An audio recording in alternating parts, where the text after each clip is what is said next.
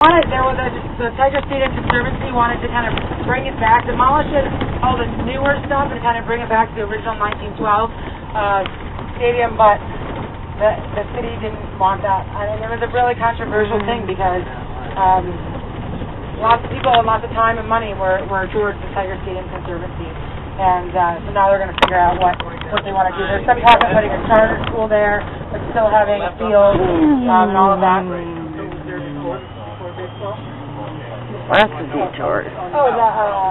was a, uh, a farmer's market. Right. Western, Western. classified now by historians as a rebellion. This was it was not a race riot, and that whites and blacks were not fighting each other in the streets. We did have a race riot, however, in 1943.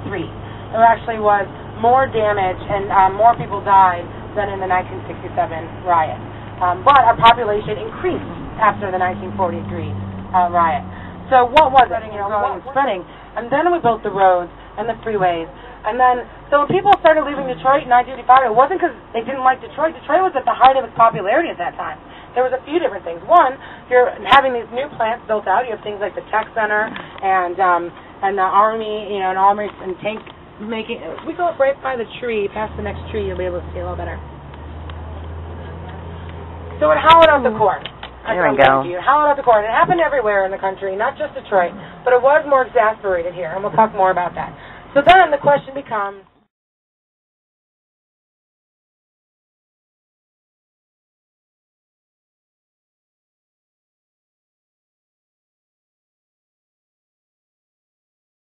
Best lunch I've ever had. And uh and then there's a great grocery store, Harbortown Markets right here. But these are like some pretty awesome places. There's um two pools, two outdoor pools, there's a boat slip, you have the high rises, but then also like it's kind of weird. You can get a regular like a regular house with a two car attached garage. But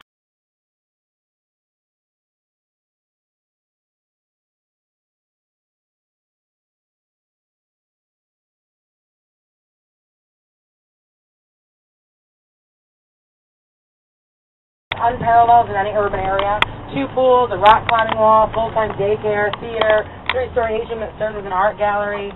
Um, amazing. I was living across the street when they when they built that. Um, new bar called the Sky Bar here. They're gonna have a first floor bar, but then they're gonna have a bar on the 32nd floor of the skyscraper. This building on your right was built in 1895. Our tallest building.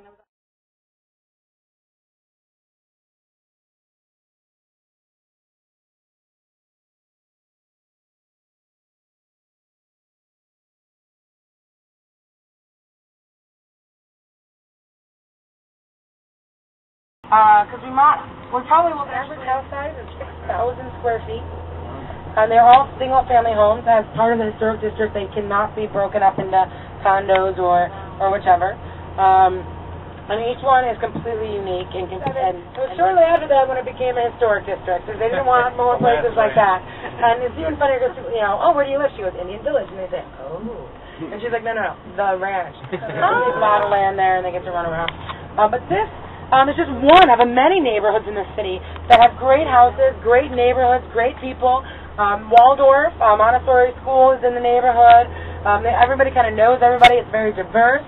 Um, this was built originally as for the for obviously the rich and famous of the time, and this was kind of like their country home. They would commute um, into the town basically. It's kind of in the middle of nowhere when they first started building out here. It's called Indian Village for the same reason any subdivision is called something because it sounds pretty and they think it will help sell houses. Um, there, there had not been any in recent history Native American activity in this area, um, but they thought it was romantic um, at that time. Uh, and so I mean they don't make them like this anymore, right? Mm-mm. And uh, and how many people These are thought there'd be like? Did you know there was a neighborhood like this in Detroit? And this is just one. Like, like this is not. You know, there's also. I mean, in this area, so there's also West Village, which we'll be a little bit briefly. There's Berry subdivision where the mayor's mansion is. There's East English Village. There's Palmer Woods. There's Sherwood Forest. There's Rosedale. There's a lot of really great neighborhoods, but those aren't you know exciting apparently for the out of town journalist to show you um, on the news.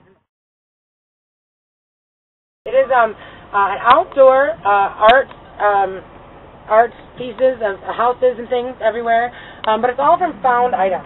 The, the artist Tyree Guyton started this in 1987. He grew up on this block, and actually we're going to pass the house with all polka dots on it. Um, that's the house he grew up in, and his mother still lives there today. And he originally started painting big, colorful polka dots on abandoned buildings in his neighborhood to draw attention to the to the blight and the and the lack of safety in these old houses and abandoned houses uh, to get them torn down. And then he would take the garbage that would be thrown or left in the city and uh, and make art out of it. This is one of my favorite pieces here to your right. The boat there, that's Noah's Ark. Uh, do you get it? So this is really an, like a museum. You could spend an entire afternoon here, and I highly recommend it. Heidelberg Project, Heidelberg.org. Um, every every piece has a story, um, and this has been here for um, 25 years now, going on 25 years. And yes, people live on the street, um, and people actually from over 100 countries have visited the Heidelberg Project. This is the Polka House, or what they call the Dotty Wotty House. This is uh, the first house as part of the project. Um, and again, his mother still lives there. And in a just small world, crazy, random fact, uh, Helen Thomas grew up in that house also. That exact same house. Isn't that crazy? This is another artist who bought this house 10 years ago because he wanted to be part of the project. His name is Tim Burke. Um, and he, there's that found weapons of mass destruction piece, it's all the alcohol bottles and the liquor signs. Um, and uh, he worked at, he was a veteran and he worked at a uh, rehabilitation center. And so a lot of his pieces are more politically, they're, you know, very, um, talk about the atrocities of war and the atrocities of addiction. And he worked at a place that made signage for alcohol and cigarette ads. And so he could, he would garbage pick these ads and make, you know, statements out of them with art. Um, and so it's always new, it's always changing. Um, mostly is Tyree Guyton artist, so he has in recent years. There's another resident artist, resident artist in residence right now, and then they have other. Um, this is a medical school that that did this project with Tyree recently. Um, these are kind of new. This is a U of M project, and um, and there's so it's always changing. Um, this is actually where on your left they're going to actually build uh, their headquarters, um, which will be made from all found items or anything. wanted to know if it really turned you off that badly, why are you even wasting the effort on thinking about it? Who was it? It's my brother-in-law. Oh, okay. And Yeah. well, it's an eyesore. Well, one, no one's making you look at it, but two, why, if it's that much of an issue for you, you clearly don't get it as art. You just see it as an eyesore, and you're not and, curious. And that's how art is, though. Art is subjective. I mean, everybody has different opinions.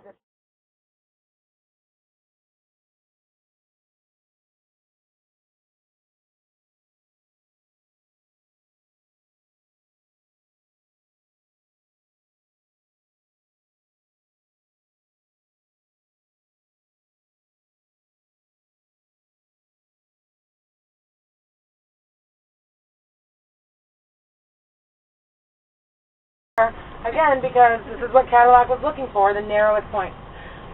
The Renaissance Center. Everybody knows the Renaissance Center. The Renaissance Center, some things you might not know, built in 1977, commissioned by Henry Ford II. So it's kind of funny because Henry Ford, right, he had a kid.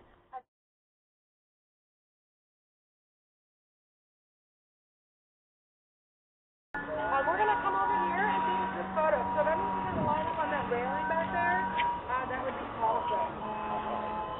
Don't if you have any questions about anything. Or want to know more about something, like, let's go over to our Let's go probably in about 20 years, you know. Yeah, I used to go like to the take it to the game, like from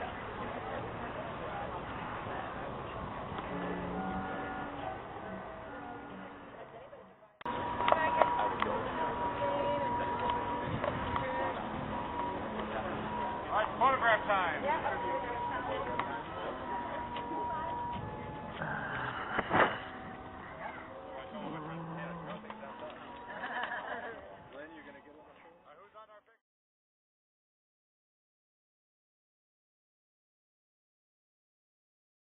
Um, and is it for everybody? Do I want everybody to move into the city of Detroit and, and jump up and down and cheer, cheer, right out? No.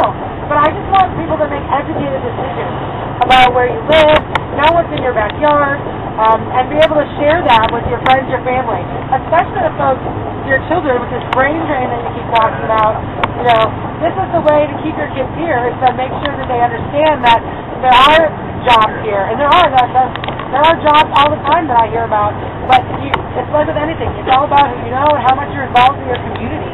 Um, you can't just sit home and watch TV and expect everything to be, a, you know, everything to come directly to you. So um, that's my one challenge is share this information. Share something that you learned today with somebody else.